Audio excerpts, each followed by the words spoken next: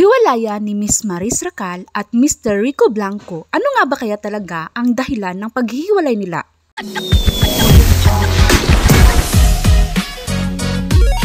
Usap-usapan ngayon sa social media ang hiwalayan ni Miss Maris Racal at Mr. Rico Blanco. Pinanggit o inamin na ni Miss Maris Racal na hiwalay na sila ng boyfriend niyang si Rico Blanco.